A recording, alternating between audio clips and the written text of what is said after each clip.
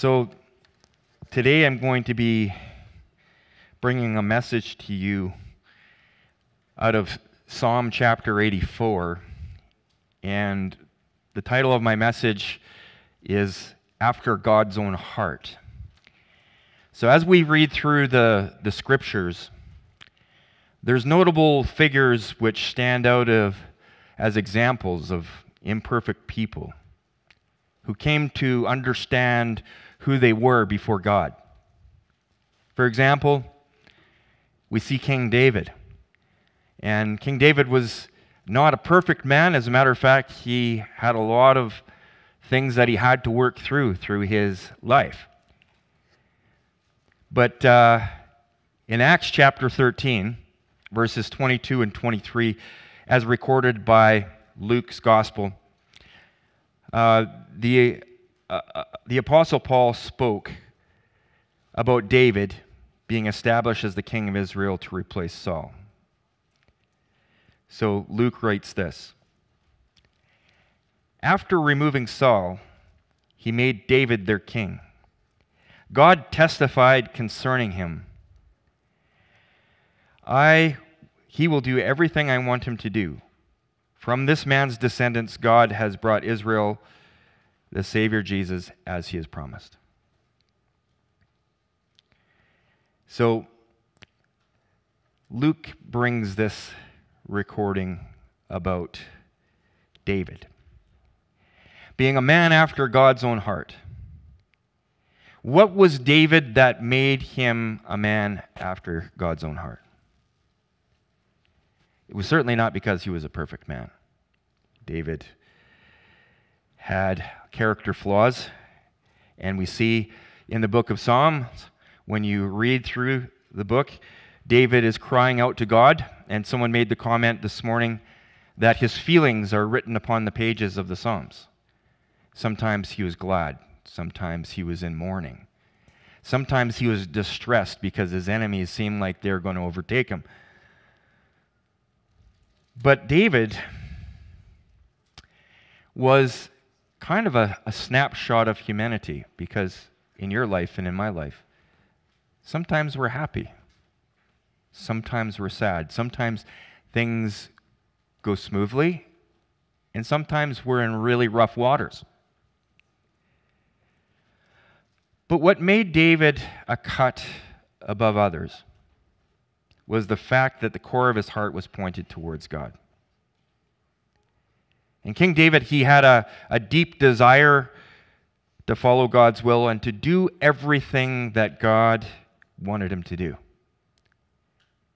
Today, we're going to look at his psalm in Psalm 84 because it really expresses David's attitude towards the Lord. In verse 1 and 2 of Psalm 84, David writes this. He writes, How lovely is your dwelling place, O Lord Almighty. My soul yearns, even faints for the courts of my Lord. My heart and my flesh cry out for the living God. Well, these first two verses, they, they, they resound a lot about what God loved about David. And throughout the ages, many preachers have referred to this psalm as the pearl of, of psalms.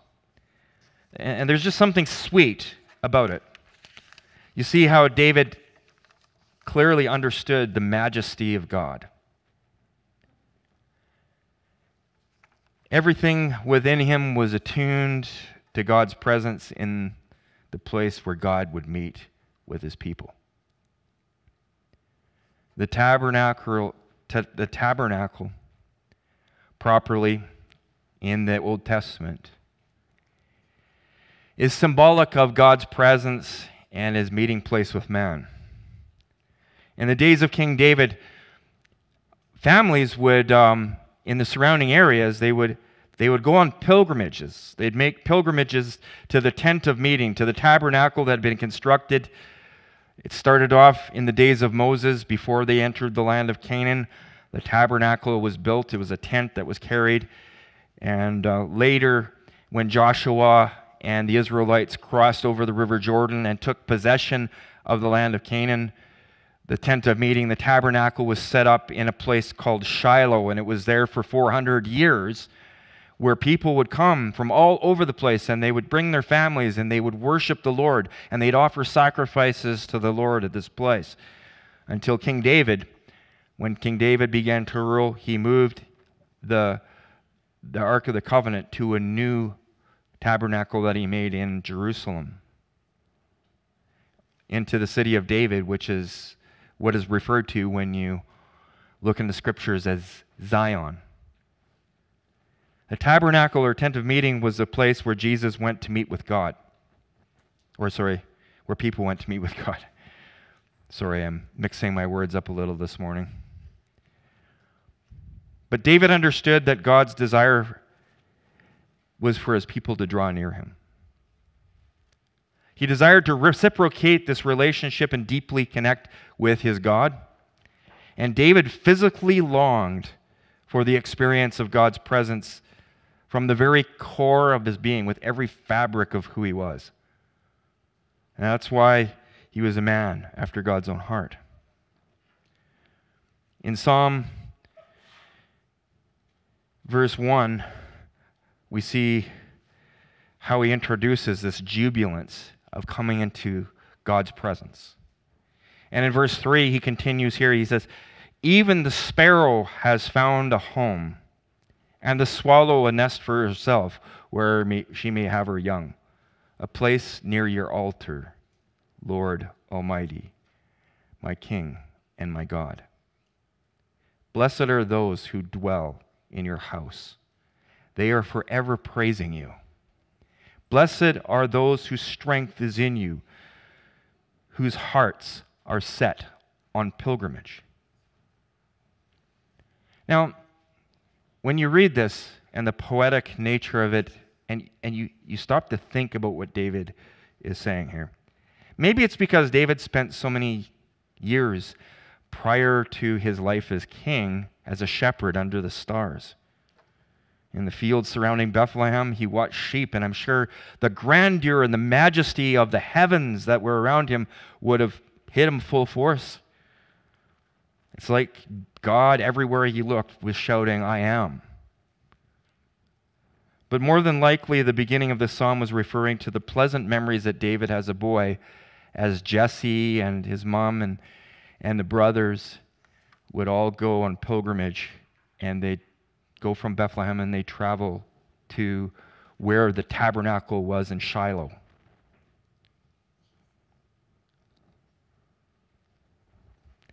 At the same time, you see, multitudes of other people would have been joining them in community.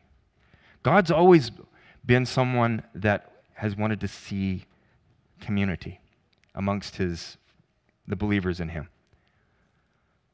Sometimes I think we take advantage of community and, and we treat it kind of tritely, but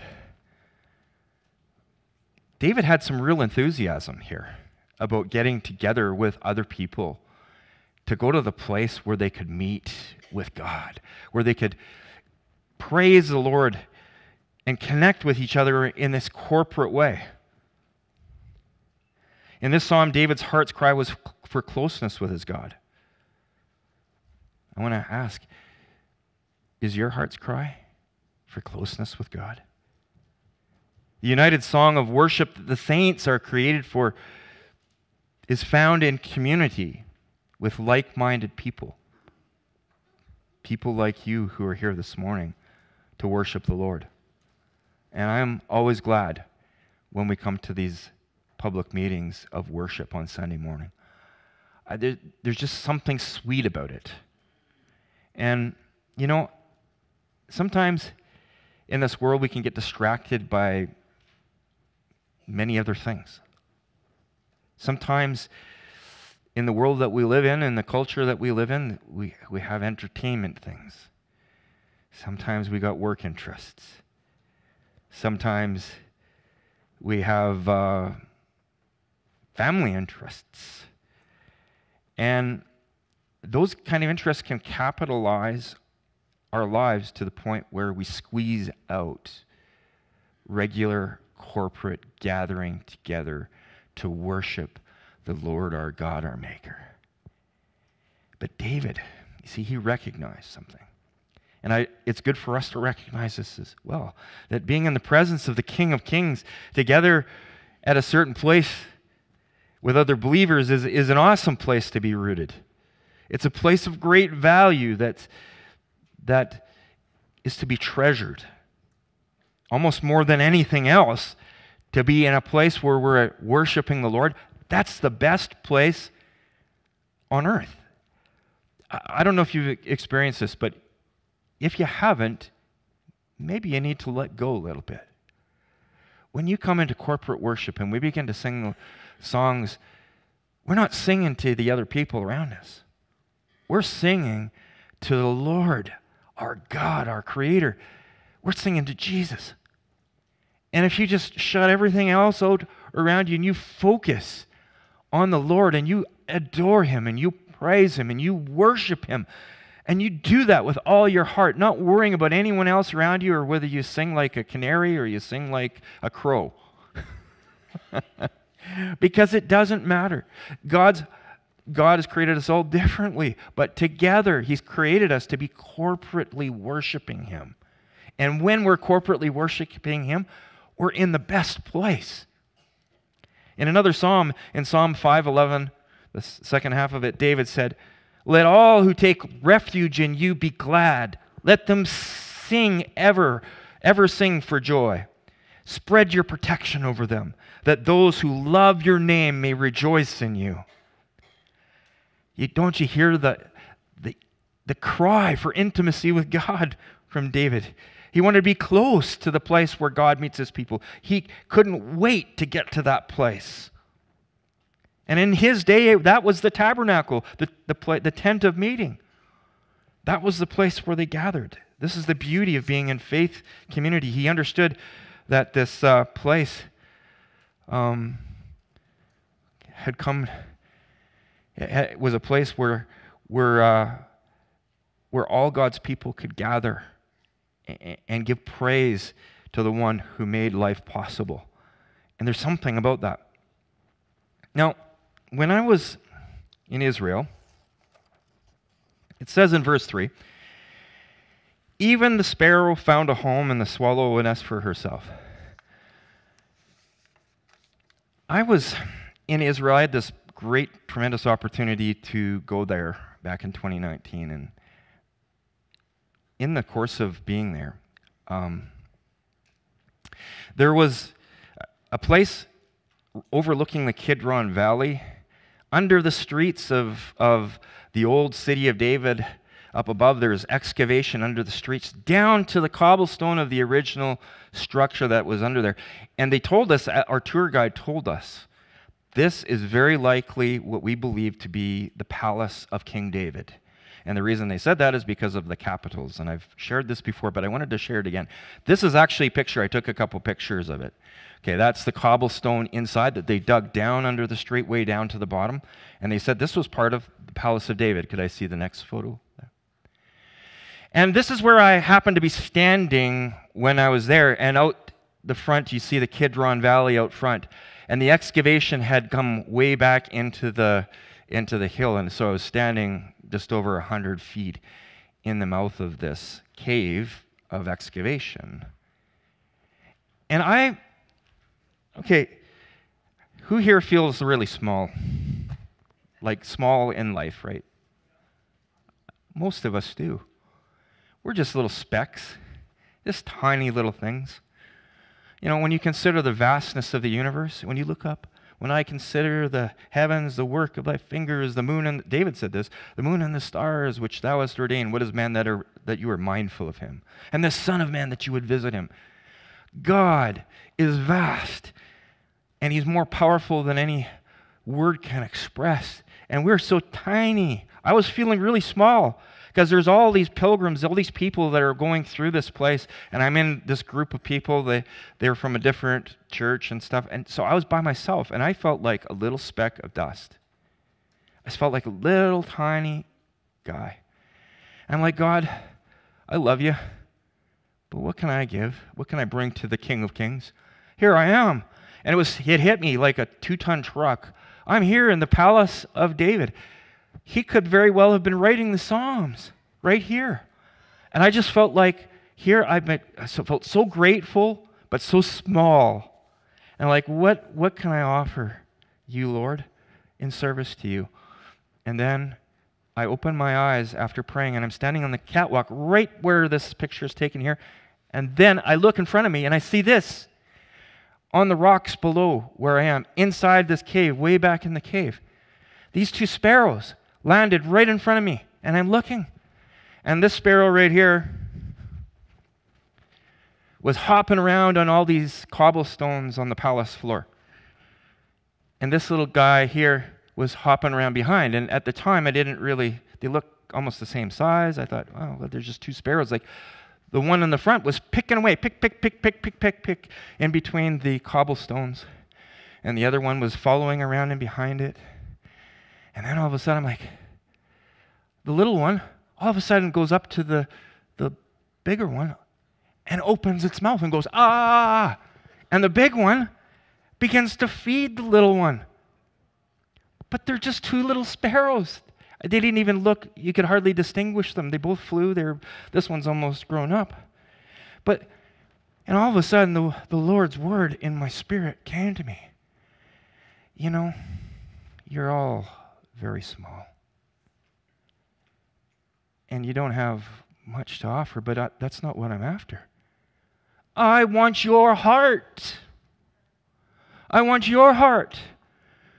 Feed from my word.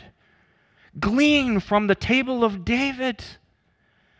Maybe the tabernacle that he set the Ark of the Covenant in from Shiloh was set right here. Maybe these birds were picking away at ancient grain that had fallen into the cracks between the cobblestones and been buried by, by dust. Because they're picking at seeds of some kind and there's nothing growing way back in there. So, where did it come from? Why are they doing this? Because they're gleaning from the floor something. I don't know. But in, inwardly, it was like, God, I'm a little sparrow, just like you are. You're just a little sparrow. It doesn't mean that God doesn't love you, though, and He cares for you. And he wants you to glean from the floor of, of the great men and women of God that came before us and wrote their stories are written in the Word. The food from the spiritual food of the Word of God, we feed on that. And then God puts little sparrows in our track just because He loves us. And He loves others. So He gives us the opportunity to take what we've found and to feed it to other little sparrows. I don't know, but this floored me.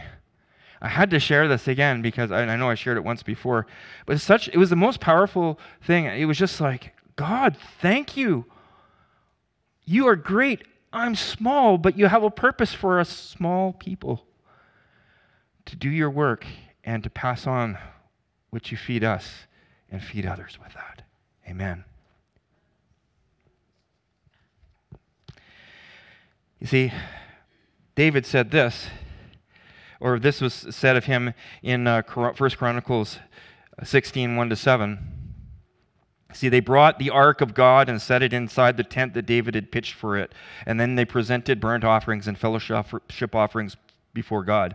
After David had finished sacrificing the burnt offerings and fellowship offerings, he blessed the people in the name of the Lord. Then he gave a loaf of bread and a cake of dates and a cake of raisins to each Israelite man and woman. And he appointed some of the Levites to minister before the ark of the Lord, to extol, to thank, to praise the Lord, the God of Israel. Asaph was the chief. The next to him in rank were Zechariah, then Jaziel, Shemioth, Jehiel, Matthiah, Eliab, Benaiah, Obed Edom, and Jeiel. They were to play the lyres and harps. Asaph was to sound the cymbals. And Benaiah and Jeziel, the priests, were to blow the trumpets regularly before the Ark of the Covenant of God. That day, David first appointed Asaph and his, associ- and his associates to give praise to the Lord God in this manner. praise the Lord. See, David was, his heart was after God. He didn't care what anyone thought. He just wanted to praise God because God is worthy. Folks, when we come to praise God, some people come praise God for something to get out of it for themselves. But David didn't do that. He came to praise God because God's worthy of praise, not because he's going to get something out of it. But guess what? In the midst of praising the Lord and giving honor and praise to the, the, the Lord of heaven, our hearts are filled with joy because God smiles. And, and when we praise the Lord, folks, there is an intimacy that comes spiritually when we let go. When we don't care about anyone else around us, where we just focus in on Jesus, we worship Him, there is something special that happens. See, every Sunday that we come together is a beautiful event. If only those living on the peripheral, on the outside of the church, could see God's people. How we were meant to be together. Yesterday we had this breakfast.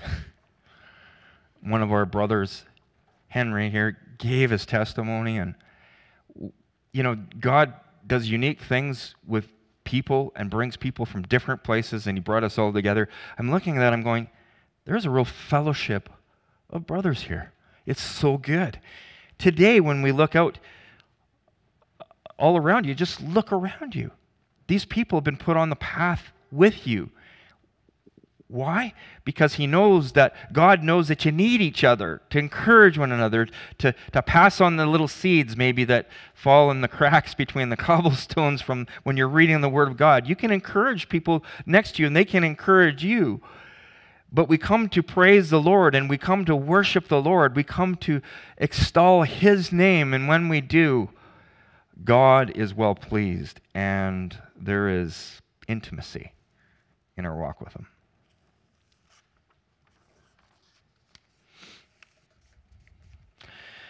David says that even swallows build their nest close to the altar and tabernacle. Blessed are those whose strength is in the Lord, whose heart is set on pilgrimage. And he continues saying in his psalm in verses 6 and 7 as they pass through the valley of Baca, and they make it a place. They make it a place of springs. The autumn rain also covers it with pools. They go from strength to strength till each appears before God in Zion. So you can just picture David as he's thinking about his family's trek to go worship the Lord. And then as he's king, how all the people would come to the tabernacle of the Lord. And the area where they lived was, was dry and, uh, and destitute. The area surrounding Jer- Jerusalem is a dry desert. But those who are on pilgrimage to worship the Lord, turn a dry place into a place where there are springs and pools of refreshing water to quench the thirsty soul. For God is with them, even in the parched valley.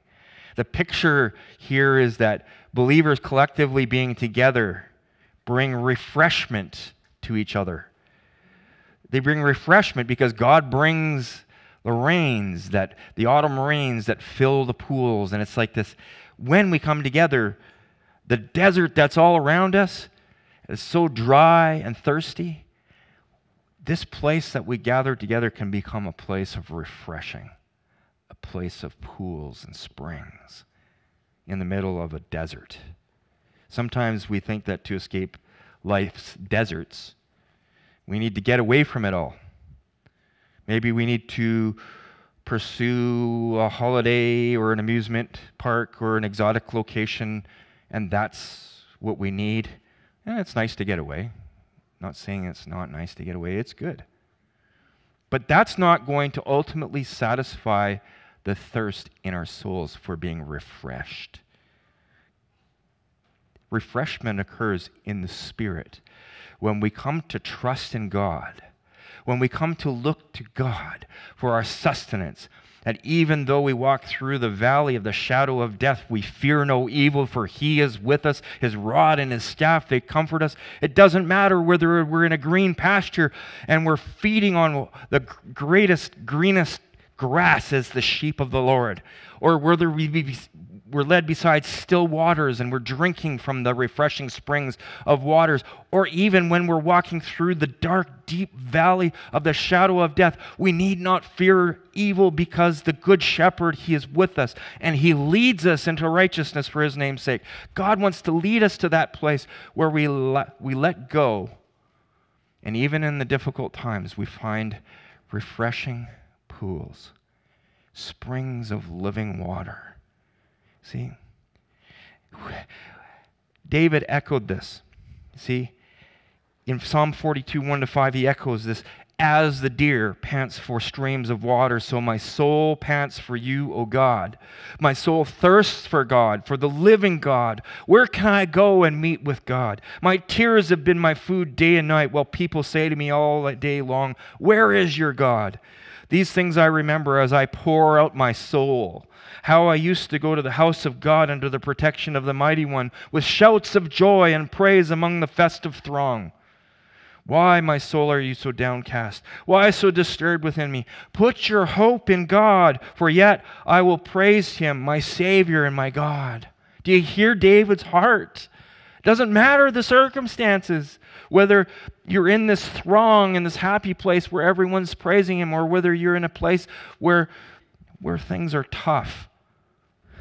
This is why David, this is why David was considered a man after God's own heart, and why God encourages us to have that heart like David, to humble ourselves before him and to, and to seek him and to give up our ideas of, of how to do things on our own strength and to let him be our guide and to not be discouraged when things are tough and to rejoice when things are going well. Just listen to what he cries out. David cries out in the next verses of our text, saying in verse 8 Hear my prayer, Lord God Almighty. Listen to me, God of Jacob. Look on our shield, O God. Look with favor on your anointed one. Better is one day in your courts than thousands elsewhere. I would rather be a doorkeeper in the house of my God than dwell in the tents of the wicked. What a wonderful truth revealed here. Now, many scholars consider this passage here that I just read the heart cry of David to be speaking prophetically about the coming Messiah, and I believe that to be true. David had been told that there would be coming in the future as his son out of his house and lineage. One who would be Emmanuel, God with us, Lord and Savior. And he writes of his future Messiah to come, where he says, The Lord says to my Lord in Psalm 110:1, Sit at my right hand until I make your enemies a footstool for your feet. As David and the singers in the court of the temple, of the tabernacle, as they cry out, Hear my prayer, Lord Almighty. Listen to me, God of Jacob. Look on our shield, O God. Look with favor on your anointed one.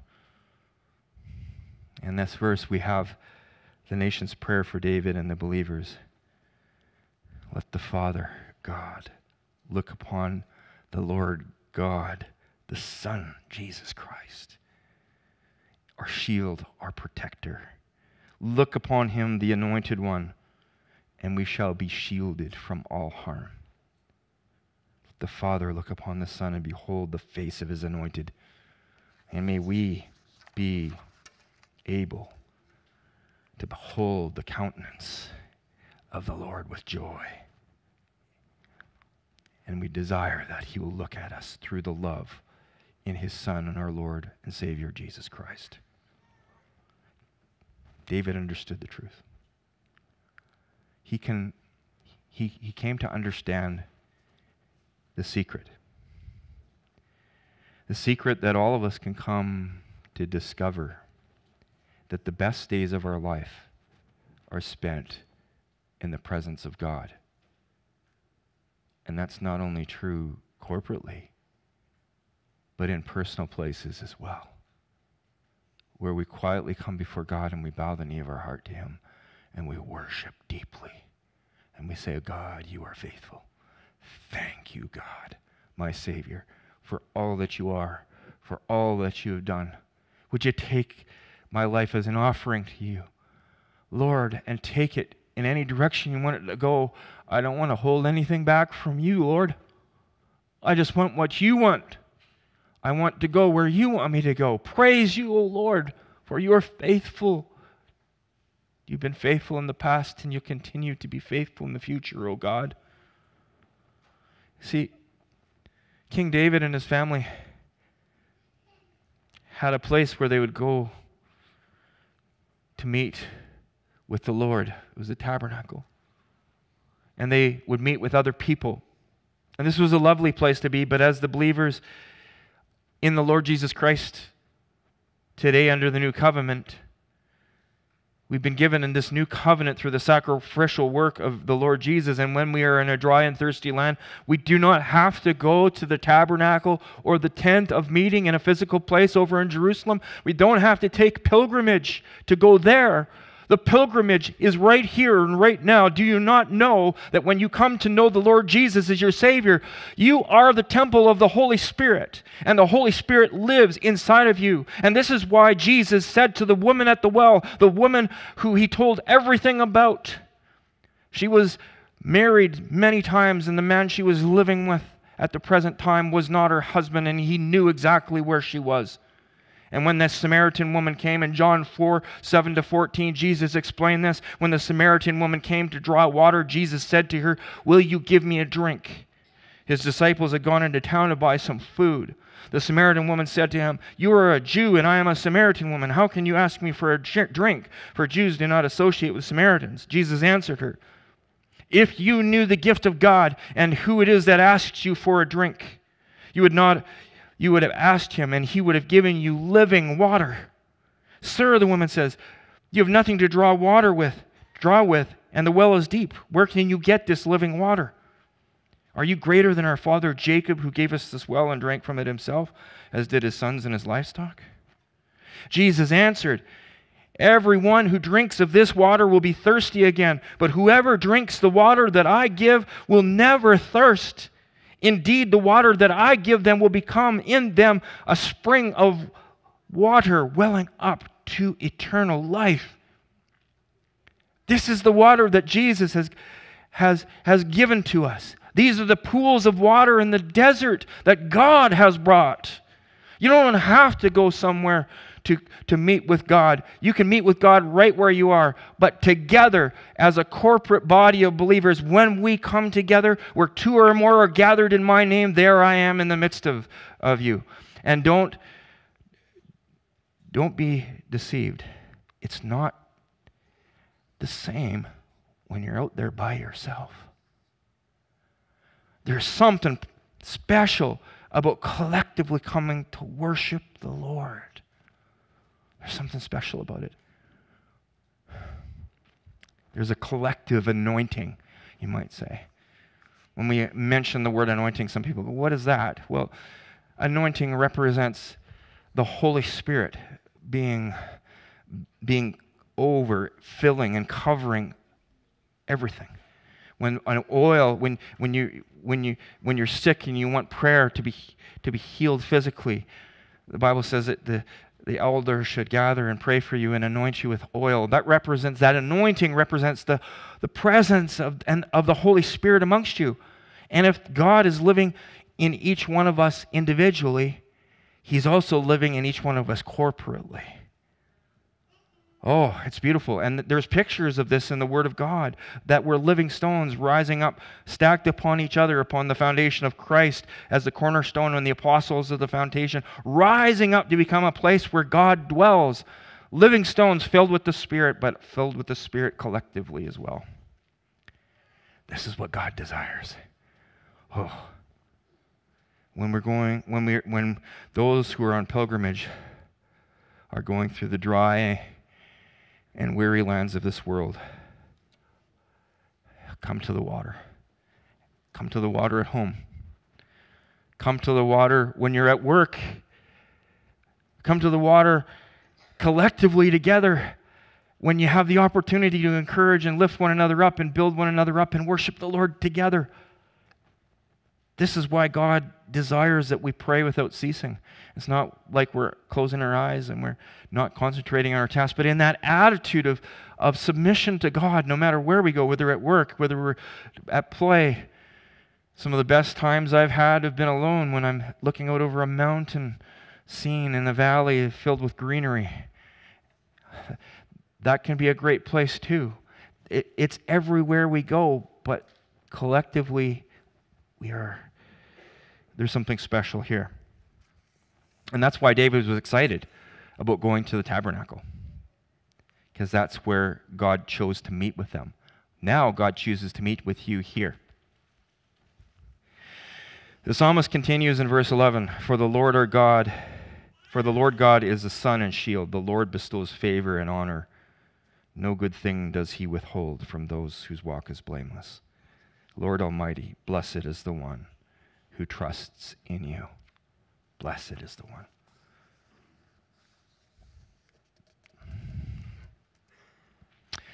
No, you can't come to God's presence on your own. It's only when you submit your spirit under the lordship of Jesus Christ that you can come into his presence. You can't be religious enough to gain favor with God.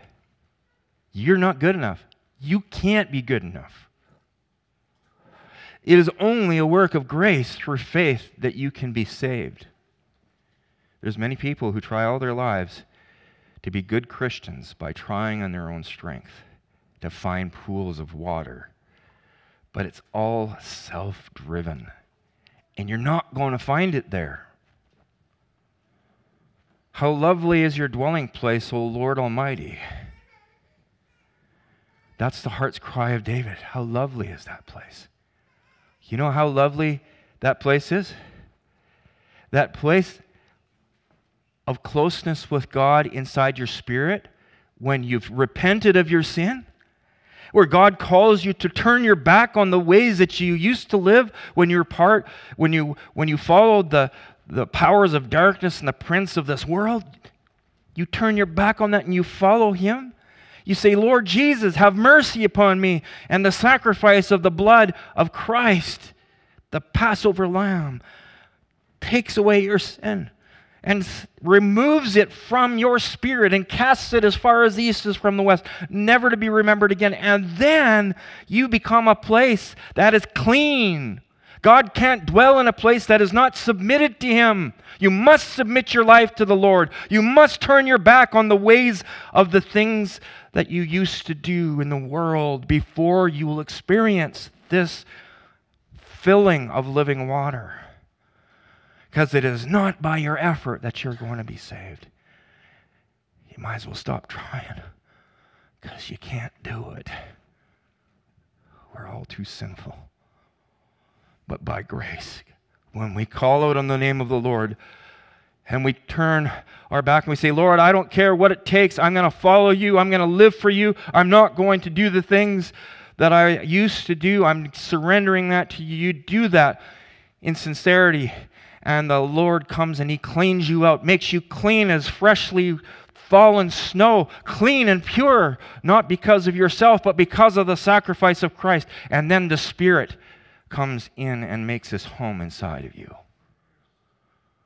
You are cleaned not to be empty and to be cleaned over and over again. That's not how it goes. You're cleaned so that the Spirit of God, the Holy Spirit of God, can come in and take residence in you and live in you. How lovely is your dwelling place, O Lord Almighty. This week I've been so grateful, grateful to be saved, to know the Lord, to be able to pray to Him, and to feel that closeness with the Lord. Oh, and He walks with me, and He talks with me, and He tells me I am His own. Remember that old hymn? and the joy we share as we tarry there, none other can ever know. It's a garden. It's a garden of God inside. A place of living water where the soul is satisfied. This is what God wants us to live in abundance with. He wants us to live in that place. How lovely is your dwelling place, O Lord Almighty. This is the heart cry of David, what he wanted. This is what he wanted. And this is what God has offered now through the new covenant in his blood to every person. We don't have to go on pilgrimage far away. I don't have to go. It's nice to go, to go see Israel. I don't have to. Pilgrimage can be a place where I come regularly. And that's what's beautiful about this place. Amen. The Apostle Peter says in Acts 4 2, 12. Luke writes it. Salvation is found in no one else, for there is no name under heaven given to mankind by which we must be saved. Jesus Christ is Lord and the mediator between sinful man and a holy God. Amen. Better is one day in your courts.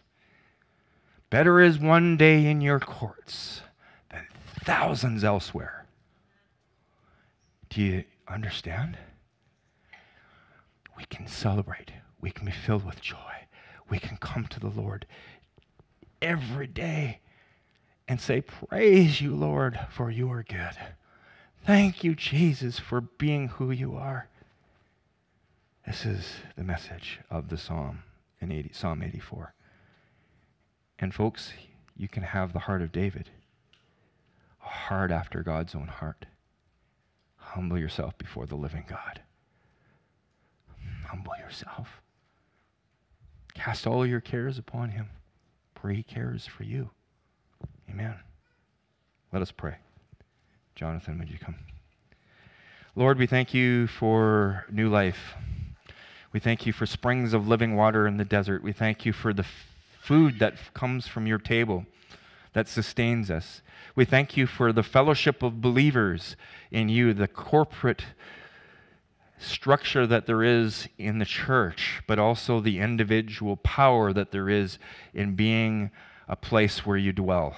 God, we worship you this morning. We give you praise. We give you honor. We thank you for those that have taken the step this, this morning of obedience in the waters of baptism. And for those of us who've been there, Lord, we're so thankful for, for our brothers and sisters here today. We're thankful for those that have, have, have publicly expressed a, a, a, desire to follow and to serve you and be accountable to, to others around them. And, and Father, we just pray that as we go forward, that, Father, we would recognize the, the great privilege that we have under the new covenant to be in your dwelling place and to give praise and worship to you everywhere we go. God, may your grace and peace rest on people and help them to have a great day. Thank you, God, for this time of celebration. And we pray this in the name of Jesus. Amen.